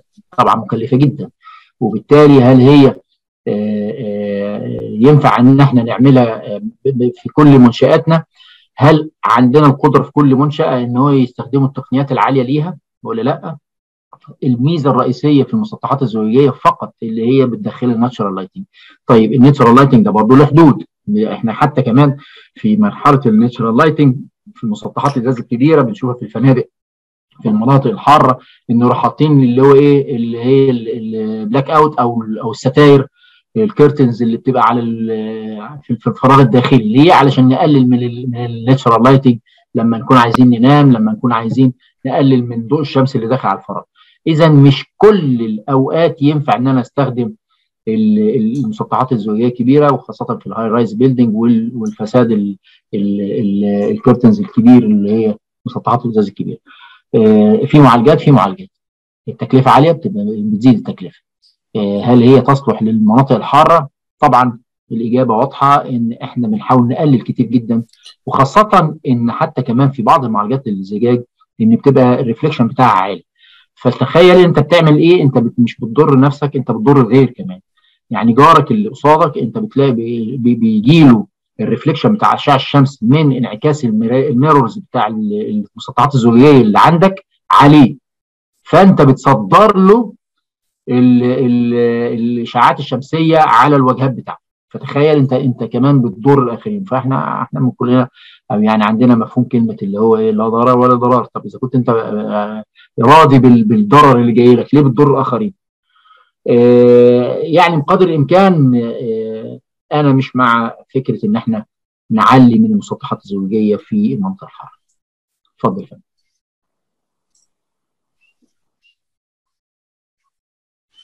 ألو؟ أيوه أيوه يا دكتور. في سؤال المهندس زكريا بيسأل عن ال course مؤهل لدخول اختبارات المجلس الأمريكي ال LEED وهل من الممكن تزويد لنا بعض؟ معلش عفوا تاني الكورس هو بيسأل ال course مؤهل مؤهل لدخول اختبارات ال LEED وهل من الممكن تزويدنا ببعض المعلومات؟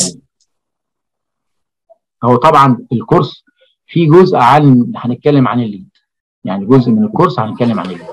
يعني يمكن ال slides هيبان لما هبعته لكم إن في هنتكلم في أحد المحاضرات عن ال LEED. كويس لكن ليس مؤهل لاختبارات ال LEED. ال green building لا تؤهل لاختبارات ال LEED. اللي بيؤهل اختبارات ال LEED course LEED. خلاص؟ فنفرق كبير جدا جدا ما بين green building ك course له علاقة بعناصر مختلفة كتير عن ال LEED بعناصر. عناصر ال LEED تسع عناصر ما فيهمش مثلا موضوع ال passive design لكن في innovation في حاجات ثانية okay؟ فيعني لازم يفرق معايا. لكن أنا هتكلم في ال course طبعا عن ال LEED وايه عناصره وايه مشتمله اتفضل يا فندم. باشمهندس محمد جابر اتفضل. شكرا جدا يا دكتور على المحاضرة. أنا محمد جابر عندي background على ال mechanical engineering energy system بس كنت عايز نعرف حضرتك تطرقت لل green building elements تمام؟ آه آه وذكرت واحدة منهم اللي هي indoor environment quality هل indoor air quality داخلة فيهم ولا مش داخلة؟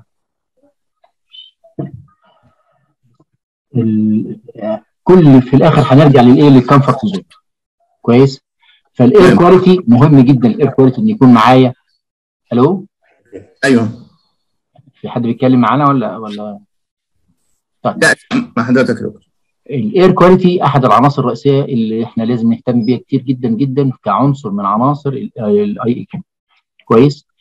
أنا بقى بقدر أعمل معاه treatment أقدر أعمل له معالجة أقدر أعمل له enhancement ده هو ده الأساس اللي أنا بشتغل عليه في ال IEQ تمام؟ هل هو له علاقة بال energy ولا أنت بتتكلم ان جنرال لا ان جنرال حضرتك ما ما تطرقتش ليه؟ تمام؟ لا قلنا ال IEQ قلنا إن إن عناصرها هنتكلم ساعتها في في, في الكورس فيها إن هي إيه هي العناصر المؤثرة اللي فيها. تمام؟ اللي منها ال ventilation اللي هي ال air ال air خلاص؟ معايا؟ آه مع حضرتك. ال ventilation التهوية اتكلمنا عن ال efficiency بتاعت الحرارة ال efficiency بتاع يعني حاجات كتيرة جدا في ال EQ بنهتم بيها اللي منها كمان ال sound منها ال odors والكلام ده. تمام. شكرا. أهلا وسهلا.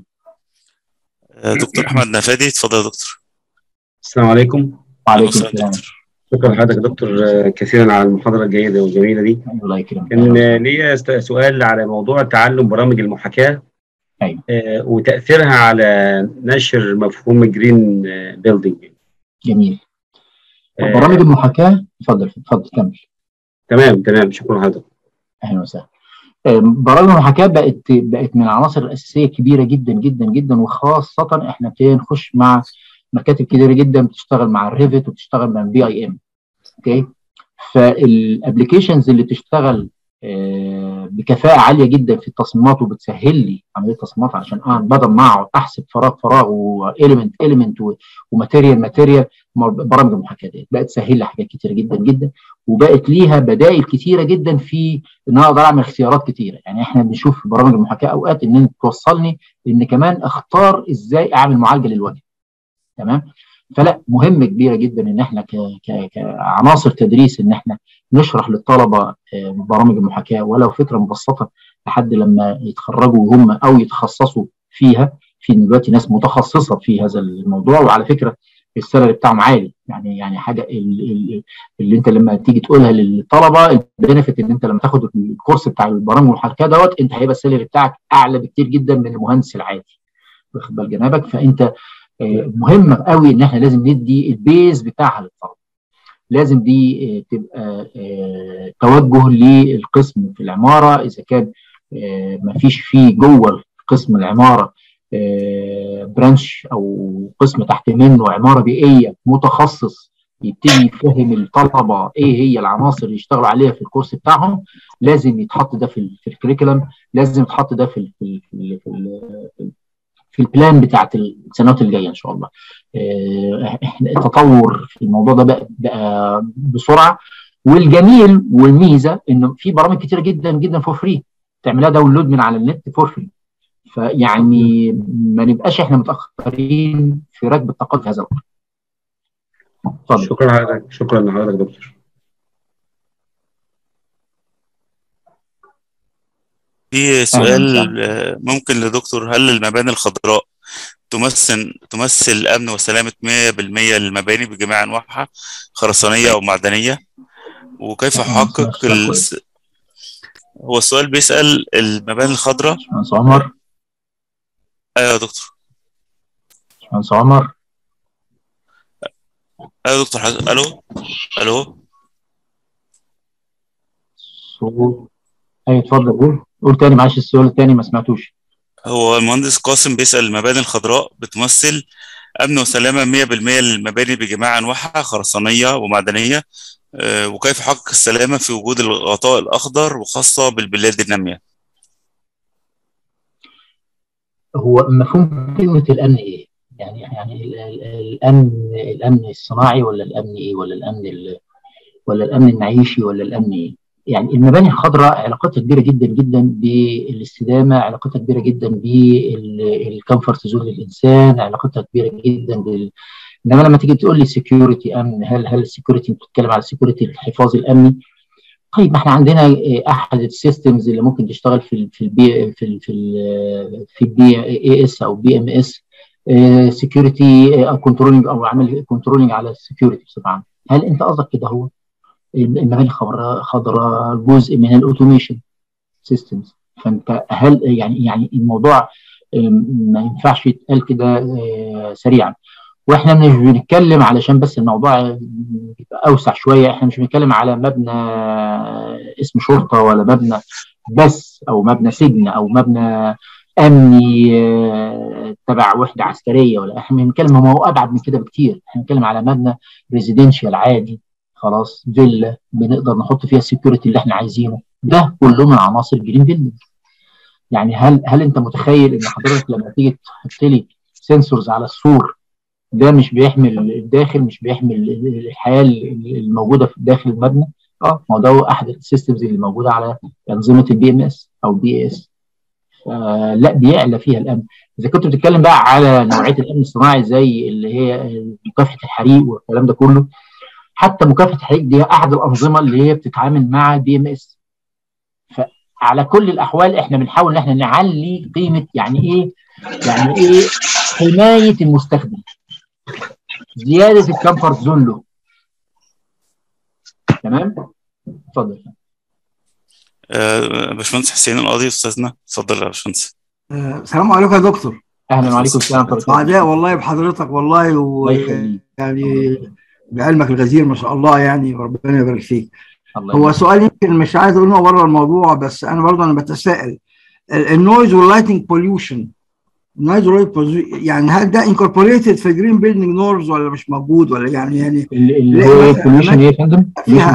فيها green building لكن ال environment بتاعه آه، في noise حواليه في آه، اللي هو ال lighting pollution الإضاءات اللي هي بتبوظ الدنيا الكلام ده كله آخره هل ده incorporated يعني ده أحد أنواع ال pollution اللي هو موجود في في في في في, في ال environment يعني.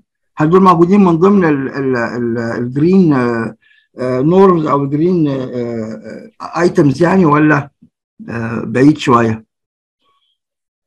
شكرا جدا باشمهندس حسين على السؤال الجميل دوت. هو طبعا إحنا إحنا وسعنا كلمة بتكون pollution بصفة عامة لما قلنا إن هو هل هو هيأثر على ال comfort zone بتاع المستخدم ولا لا؟ okay؟ فمن ضمن العناصر إذا كان في آه في بعض الأوقات ال lighting بيبقى له vibration بيبقى له آه noisy عالي؟ بتقلل طبعا الكلام ده. مش بس ال lighting كل ال machines اللي بتبقى موجودة في كل ال appliances اللي موجودة في المبنى كل ال systems بتاعت ال conditioning موجودة في المبنى. ما هو من ضمن الحاجات الرئيسية في عناصر ال comfort zone اللي هو ال noise السمع. حضرتك؟ السمع الشم ال- الرؤية الجلد skin حتى ال tasting ما كل ده عناصر رئيسية بتاعت مكونة للحواس الخمسة للإنسان. فإزاي إنك تعلق ال comfort zone بتاعك في الاستخدامات بتاعتك آه في طبعا أساسية. وخلينا نقول بقى ان إن أحد الحاجات الرئيسية اللي إحنا لازم نفهمها ونستوعبها كويس. آه ودي برضو هتظهر معانا في ال course. قبل ما نتكلم على العناصر بتاعت ال energy بصفة عامة بأنواعها سواء كانت traditional أو ال أو الفوز الفويل اللي هو الوقود الاحفوري وال renewable energy لازم يبقى عندنا يعلى معانا قيمة كبيرة جدا اسمها energy saving خلاص ال energy saving دي مهمة كبيرة جدا جدا. اللي بيها أنا كمصمم إيه إيه إيه لو نتكلم مثلا على موضوع ال lighting زي ما تفضلت وقلت هل ال lighting اللي بيطلع أو ال noise اللي بيطلع من لمبه fluorescent هل ده هل ده مقبول لما نيجي نعملها لمبة LED هل ده مقبول؟ أساسا اللمبة ال LED هل ممكن يكون فيها noise؟ هل ال ال ال المكونات بتاعتها بيبقى فيها noise؟ أنا مش بتكلم على اللمبة العادية أنا بتكلم على اللمبات الهالوجين الكبيرة والحاجات الضخمة الكبيرة دي هل ده مقبول؟ طيب إيه إيه المعالجة بتاعتها؟ وإيه وإيه وإيه وإيه اللي يخليني ألجأ لها؟ واذا عرفت إن ال LED دلوقتي بقت فيه تقنيات عالية جدا جدا بتزايد أكتر وقت كل مرة التقنيات بتاعت ال LED بتزيد أكتر وأكتر عشان تزود عدد الساعات وتقلل من استهلاك الكهرباء. فال energy saving ده حاجة من الحاجات الرئيسية اللي إحنا لازم ناخد بالنا منها قبل ما نتكلم على ال energy سواء كانت ال renewable أو غيرها. طبعا مهم جدا إن إحنا ناخد بالنا من ال noise بتاع أي حاجة أي حاجة أي machine معدية كده. اتفضل. آه شكرا يا دكتور. بس أنا كان برضو أنا كنت بصر لل lighting effect ال lighting pollution لأن ده موضوع يمكن ده آخر آخر موضوع يعني تم الكلام فيه internationally وبدأ يظهر فيه عليه دراسات وبدأ فيه يظهر عليه آه حاجات كتير يعني وكده. أنا كنت اعرف بس يعني مدى التطور اللي وصل فيه لأنه ال pollution بتاعه آه بيبقى على مستوى أقوى. عربيات بتجري بالليل إضاءة مش مظبوطة الحاجات دي كلها إلى آخرها. هل ده دخل جوه ال norms ولا لسه under study ولا ولا ولا إيه؟ يعني يعني ده ده معلش اعتبره سؤال شخصي يعني. هو هو هو واخد بال حضرتك إحنا بس عايزين نفرق ما بين ال indoor وال outdoor أيوه طبعا طبعا ال indoor ال indoor ال lighting بنحاول إن هو لما نيجي نصمم مش هنتكلم على مبنى بقى سكني. لا إحنا بنيجي نصمم مثلا مكتبة. okay؟ بنيجي نصمم فصل تعليمي. تمام؟ ال lighting اللي إحنا بنستخدمه لا يمت بأي صلة بأي حال من الأحوال لما تيجي تعمل lighting لمصنع. لما تيجي تعمل lighting في غرفة نوم. واخد بال حضرتك؟ كل فراغ كل استخدام لفراغ له بدات وله عناصر مختلفة عن الفراغ الثاني في التصميم بتاعه خاصة مسألة ال lighting الثاني خلاص.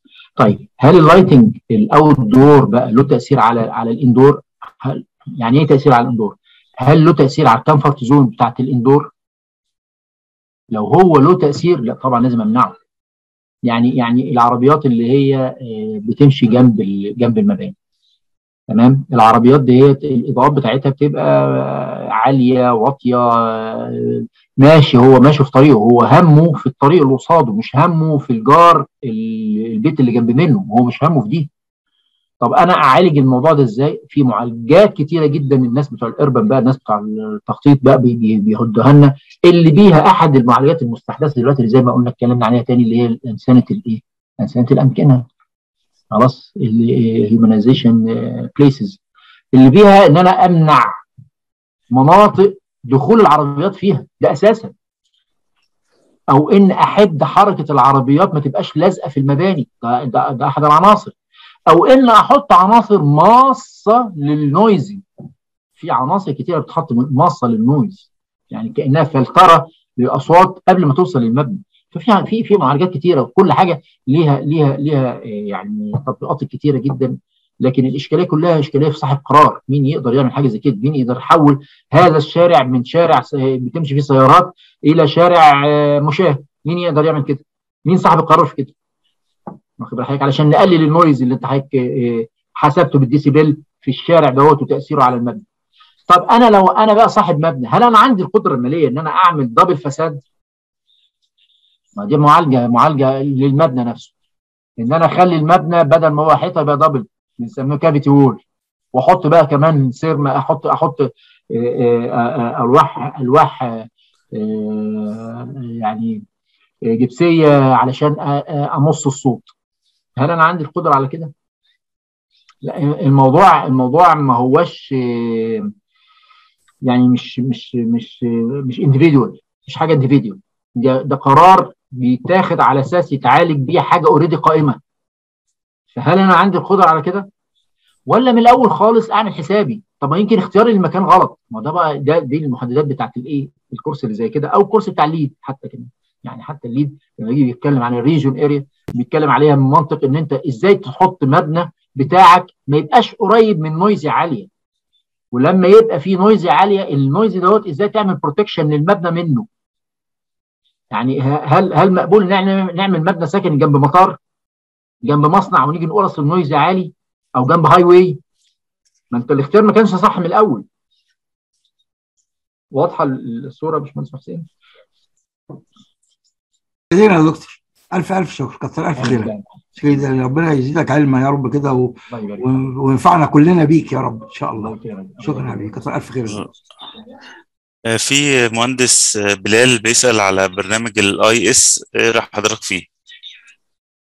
أنا يمكن ما اتعاملش معاه كتير لكن إذا كان هو بيخدم المفاهيم بتاعه ال green building أو هو بيخدم مفاهيم ال sustainability فأي برنامج ايا كان ال software ايا كان هو في الآخر برنامج مكمل لما بدأه الآخرين فليس يعني ما إحنا خلاص ما بقناش بنتكلم على اختراع الذرة مش حاجة اختراع الذرة دلوقتي.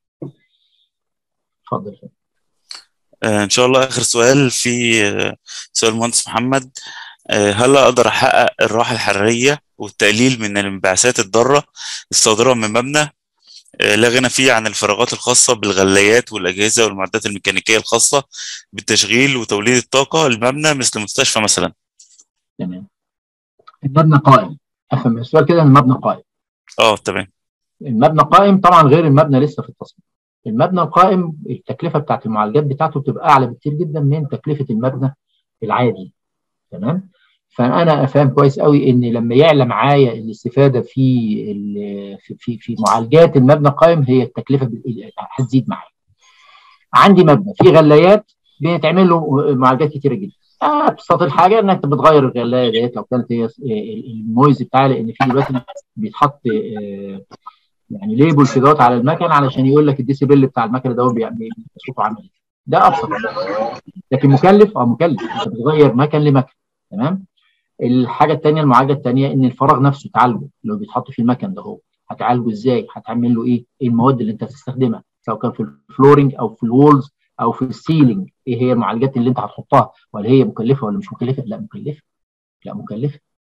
أنت مش هتقدر تحط في التصميم بتاعك إنك تنقل أو تحطه بعيد المكن دوت عن ال عن ال عن عن ال residential بتاع المبنى أو عن ال- ال- ال- الاستخدامات الأخرى للمبنى فأنت بقى دور على علاجات ده خلاص ده exist تمام؟ هل عندك القدرة إنك تنقل بقى المكن من من مكان ودوت لمكان تاني؟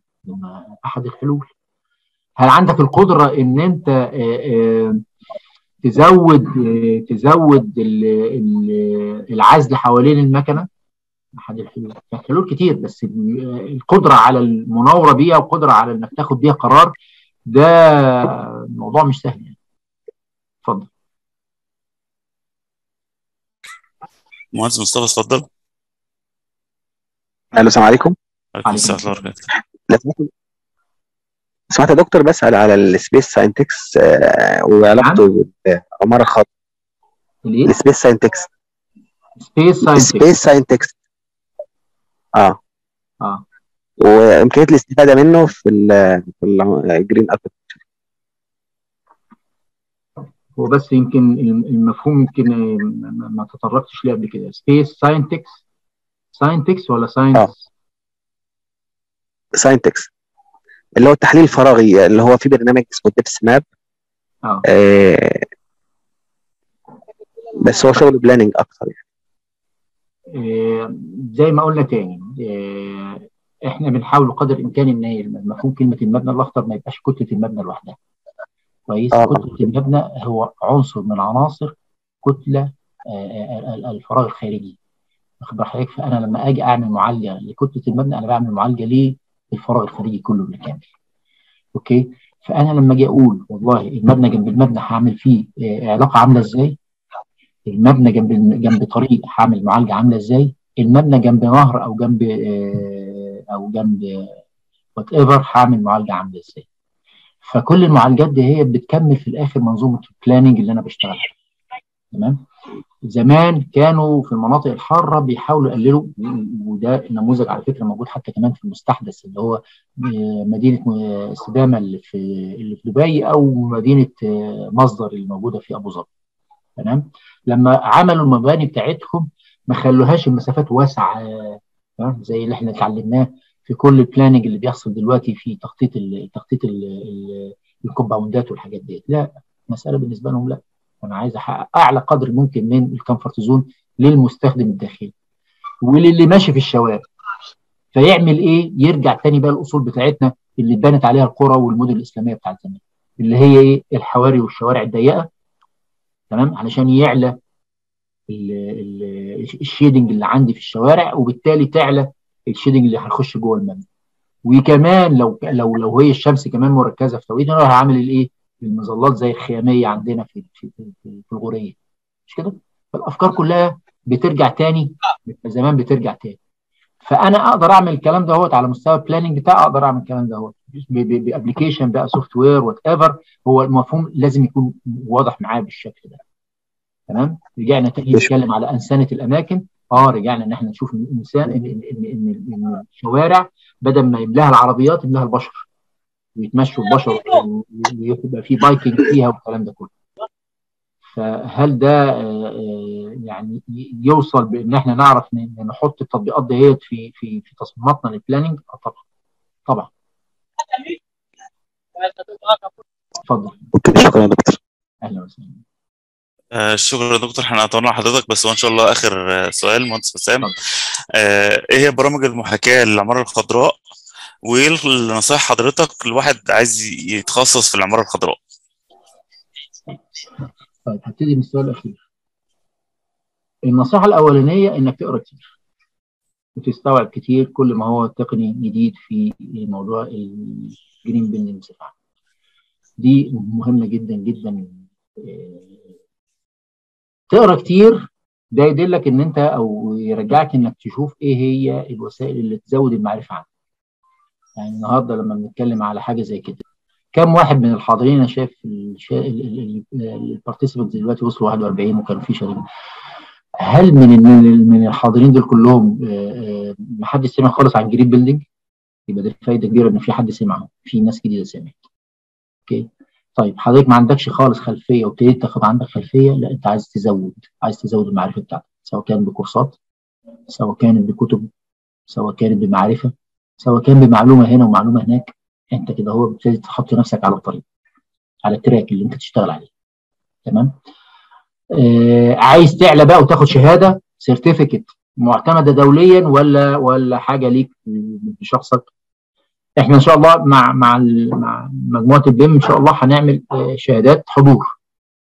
خلاص؟ وشهادات حصول على كورس جريد لكن هل ده تاخده وتروح تقول يا جماعة أنا أنا هشتغل لكم مبنى ياخد موافقة LEED أو موافقة BREEAM لا طبعا لأن كل حاجة من دول ليها العناصر بتاعتها اللي أنت لازم تكون إذا كنت عايز تشتغل عليها تشتغل عليها بذاتها بمكوناتها مش بأي مكونات أخرى. فلازم يبقى مستوعبين الكلام ده كويس. آه العناصر بتاعت ال ال كل ال standards دهيت كلها عناصر بتسمع لبعض قريبة من بعض. بيحتويها مفهوم كلمة الاستدامة. بيحتوي مفهوم ال sustainability بيحتوي مفهوم كلمة ال greens بيحتوي مفهوم كلمة ال eco friendly systems كل ده بيحتويه. فانت بقى عايز تمشي على مسار ال greens بأنواع مختلفة؟ أعتقد إن الكورس دوت هيتكلم على حاجات كتيرة جدا جدا يعني شاملة واسعة في يعني في شموليتها عن الكورسات اللي هي الثانية لكن انت مش هتاخد بيها شهادة زي ال LEED أو زي BREEAM أو زي CASBEE أو كده عشان تقول والله أنا متخصص في مباني CASBEE أو مباني star أسترالي أو مباني LEED. خلاص؟ ما يخص موضوع ال software وكده هو في في أسامي برامج كتيرة software وبرضه يعني هبعت لكم رابط لبعض ال softwares بحيث إن أنت ممكن في حاجات تنزل for free ممكن تستخدمها وفي طبعا في حاجات بتشترى يعني ال software من وقت للتاني بيحصل فيه تطور كتير قوي كبير قوي والموضوع يعني متوسع انت هتستخدمه لوحده ولا هتحطه جوه application بتاعت ال Revit ولا application يعني ولا ولا هتستخدمه مع ال مع ال BIM يعني موضوع موضوع متنوع التنوع بتاعه كويس وحلو وعالي وسهل إن أنت لو أنت مصر إنك تشتغل في هذا المجال يبقى أنت لازم تاخد حساباتك إنك تشتغل على أحد هذه الكورسات؟ ما يخص مجالك. لأن ما يخص مجال المعماري غير ما يخص مجال الميكانيكا أو الكهرباء أو كده. اتفضل. باشمهندس عمر. جزاكم الله كل خير دكتور على المحاضرة الشيقة ديت. وألف شكر حضرتك جزاكم الله كل خير. أهلا وسهلا بكم. شكرا جدا لكم وإلى اللقاء والمحاضرة الثانية شكرا جدا.